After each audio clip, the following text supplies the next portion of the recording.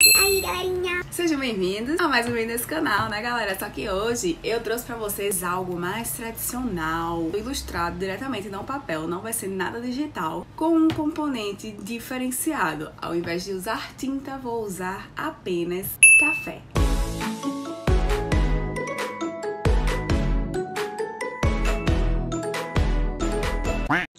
Bom, primeiramente você vai precisar de um recipiente com água para poder limpar os seus pincéis, um godê, uma colher, café, um paninho para enxugar os pincéis, pincéis, uma escova de dente, um secador de cabelo e papel higiênico.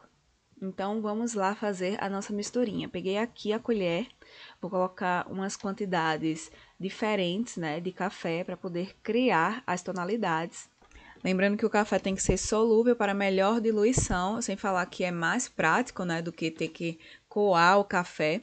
E pode acontecer de vir resíduos na sua ilustração, caso o café seja aqueles que precisem coar. Então, vamos diluir o café na água. Pode ver que eu coloquei aí uma quantidade a mais de café em relação aos outros, justamente para deixar uma tonalidade um pouco mais escura, né? Então, a partir desses três aí, você vai diluindo cada vez mais para poder formar outros tons mais claros de sua preferência. Então, pode ser que você faça de primeira, com o passar da ilustração você vai formando outros tons, não tem problema, tá? E só lembrando que quanto mais escuro for o café, mais denso ele vai ficando. Então é bom que você hidrate o café com água de vez em quando para que não endureça, principalmente seus pincéis, né? Mas não se preocupem que isso não vai estragar o pincel, gente, é só para que não endureça mesmo. Bom, então vamos lá fazer a nossa ilustração. Primeiramente, vou fazer aqui um esboço bem clarinho. Na verdade, eu fiz um pré-esboço e só tô ajeitando alguns detalhes. Lembrando de não colocar muita força na hora de você fazer o desenho, porque esse papel, né, especial para aquarela, ele é muito sensível. Então, se você fizer um risco muito forte e apagar, a partir do momento que você for pintar, quando a água penetrar com a tinta, ele vai deixar aquela marca de risco que você fez né, com muita força no início para fazer o seu desenho. Então, não fica esteticamente bonito, né? Geralmente costumo usar uma madeirinha ou um pincel. Esse pincel meu aí é enorme, então ele já serve é, para colocar embaixo do meu braço para que a mão não encoste diretamente no papel, né? Porque a nossa mão, ela produz uma gordura que acaba manchando o papel, principalmente vocês que moram também em regiões quentes que acabam suando, né? A mão sua também, então acaba danificando o papel. Eu vou deixar aqui na descrição do vídeo onde vocês podem encontrar esses pincéis que eu estou utilizando, né? No caso, eu uso muito o pincel da Ceramica para poder fazer as minhas ilustrações em aquarela. Eu tenho outros tipos de pincéis aqui, só que eu não uso tanto, também não sei qual é a marca, não lembro mais. Mas super recomendo da Ceramica, é muito bom mesmo. Não sei se vocês já ouviram falar. Essa mesma prancheta que eu estou utilizando é da Mocho, inclusive eu fiz um vídeo aqui, um unboxing dela. Lá tem os links para vocês comprarem onde eu comprei. E ela é muito boa, gente. Super recomendo. Tá me ajudando bastante em relação à minha postura. Pois eu tava sentindo muitas dores, né? Devido à minha má postura. E super recomendo, além dela ser linda e prática. Vou deixar aqui no card para vocês verem. Finalizando os últimos detalhes. E peguei aqui um papel, né? Da Aquarelle. O mesmo que eu tava desenhando a minha coruja para fazer os testes de cores. Então é sempre bom vocês testarem as cores antes de iniciar qualquer ilustração em aquarela, né? Então, tô vendo aí quais tonalidades que eu fiz, a quantidade de água que eu devo colocar inicialmente, porque você vai começar do claro para o escuro. Peguei aqui a minha aquarela, né? Vou apagar um pouco o grafite para não ficar tão marcado, né? Eu quero uma pintura bem crua então, eu vou deixar bem clarinho aí os traços para ficar mais bonito o resultado.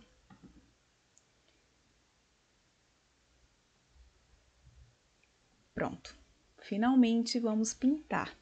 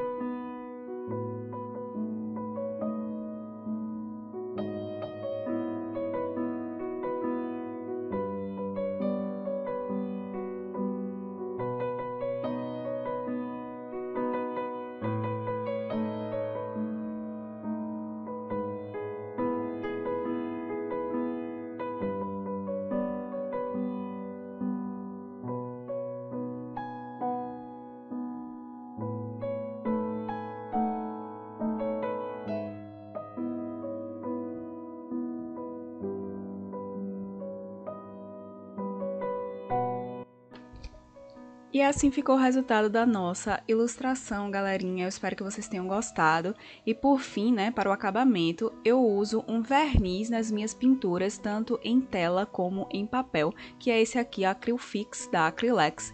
Ele é muito bom, gosto muito da versão fosca, mas tem também a versão brilhosa. Eu uso para proteger e não perder a coloração do desenho, né? Então, fica a dica aí para vocês.